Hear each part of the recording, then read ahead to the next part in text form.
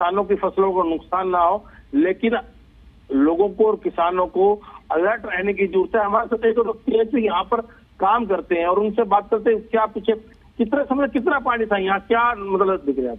ये पानी तो थोड़ा हो गया पहले ज़्यादा था? अभी फ़सल जो फ़सल है वो खराब हो जाएगी। अभी पानी और बढ़ सकता है क्या? पानी बढ़ सकता भी है घट सकता भी है। कारण है देखिए, बिल्कुल ये लोग ये लोग यहाँ पर काम करते हैं क्योंकि यमुना की मानता बहुत है, लोग माथा टेके बहुत आते हैं, पूजा पाठ करने बहुत आते हैं। तो इनका कहना है कि अगर ये रात और पानी निरंतर बढ़ सकता है, जिससे काफ़ी नुकसान होने की संभावना है, लेकिन अभी जो पानी का जल स्तर है, वो नीचे आया है। ये अगले दिन, एक दो दिन में पता चल पाएगा कि कितना पानी पीछे से आ रहा है, ताकि उस, अगर जल स्तर बढ़ता है तो इससे नुकसान काफ़ी होने की संभावना नज़र आ सकती है। प्रशासन ने पानीपत के प्रशासन ने क्या कोई तैयारी की है इसे लेकर? क्या कुछ अलर्ट जारी है? वो लोग क्या कर रहे हैं इस वक्त वहाँ पर? क्योंकि जलस्तर तो बढ़ रहा है। 230 मीटर पर चेतावनी बिंदु है और थोड़ी सी ऊपर खतरे का बिंदु भी है। तो हो सकता है कि जल्द ही यमुना नदी खतरे के निशान को पार कर जाए। प्रशासन क्या कुछ तैयारी करके बैठा है? बिल्कुल, प्रशासन ने यमुना नदी के आसपास के गाँव की तरफ़ जितने भी हैं, पत्थरों से बाँध बना दिए गए हैं ताकि जो खतरा है, उस पर अंकुश लगाया जा सके।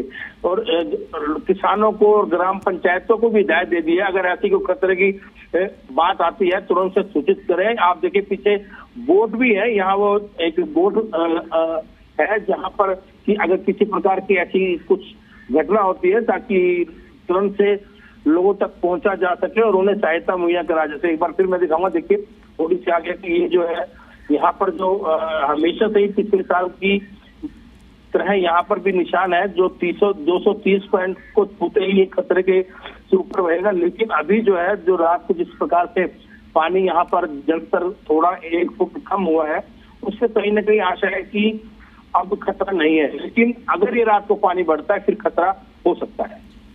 राकेश, पानीपत के आसपास के ऐसे कौन कौन से गाँव हैं जिन्हें अलर्ट रहने की ज़रूरत है? कौन से ऐसे गाँव हैं जहाँ के ग्रामीणों को कहा गया है कि वो सुरक्षित स्थानों पर रहें? और ऐसे कौन कौन से गाँव के किसान हैं जो अपनी फ़सलों को लेकर चिंतित हैं?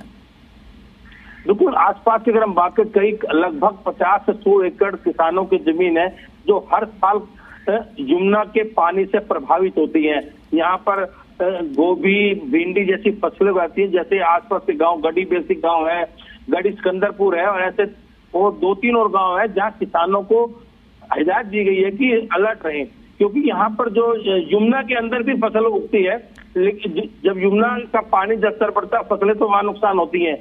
जिसकी वजह से प्रशासन ने किसानों को कहा है कि अगर इस प्रकार की कोई आपको सूचना मिलती है कि गाँव में के अंदर पानी आ रहा है तो उसकी सूचना करें, लेकिन अभी भी कुछ खेतों में पानी खड़ा है, जहाँ पर किसानों की फ़सलों को नुकसान हुआ है। तो क्या लगता है राकेश, अगर इस तरह से चलता रहा और यमुना का जलस्तर बढ़ता रहा तो किसानों को कितना नुकसान हो सकता है? उनके लिए कितनी समस्या हो सकती है? वैसे